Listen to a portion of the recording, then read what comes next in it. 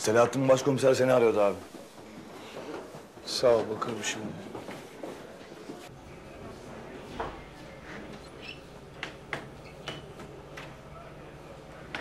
Beni çağırmışsınız.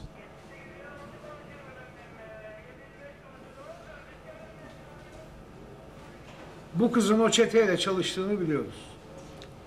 Ses kayıtlarını dinledim. Ben de dinledim o kayıtları.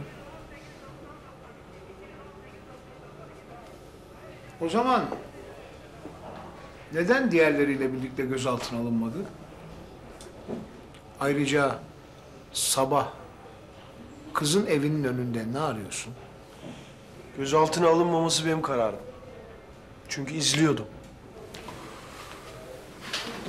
Elinde bavullarıyla nereye gittiğini öğrenebildin mi bari? Madem izliyordun. Evet, izliyordum. Bir polis bir hırsızın evinin önünde başka ne yapar? Bunların cevabını ben değil, sen vereceksin Çınar. Veririz. Başlatın o zaman soruşturmayı.